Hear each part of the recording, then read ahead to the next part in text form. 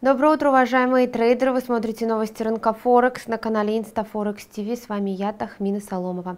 В среду на валютном рынке произошли значительные изменения, которые прогнозировались аналитиками. Так, благодаря вышедшей макроэкономической статистике США, американский доллар взлетел и продолжит давить на своих основных конкурентов. Оторвавшись от дневного минимума ниже отметки 101.20, индекс американского доллара сегодня торгуется на уровне 101.95. Валютные стратегии прогнозируют дальнейший рост господствующей мировой валюты, несмотря на отсутствие важных макроэкономических показателей в связи с празднованием государственного праздника в Соединенных Штатах Америки. Стоит отметить, что причиной стремительного роста послужила публикация протокола заседания ФРС в ноябре, которая только укрепила ожидания рынка ужесточения монетарной политики в следующем месяце. Чиновники Федеральной резервной системы не исключили возможность скорейшего подъема процентной ставки, указывая на благоприятное состояние экономики США.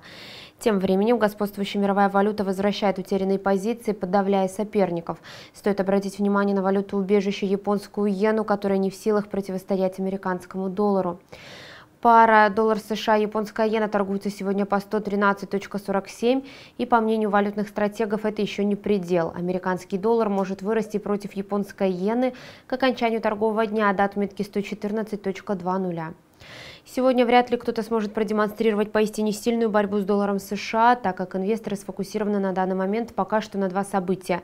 Встреча стран ОПЕК и России для соглашения по заморозке добычи нефти и декабрьское заседание ФРС, где должно быть принято решение по ужесточению монетарной политики.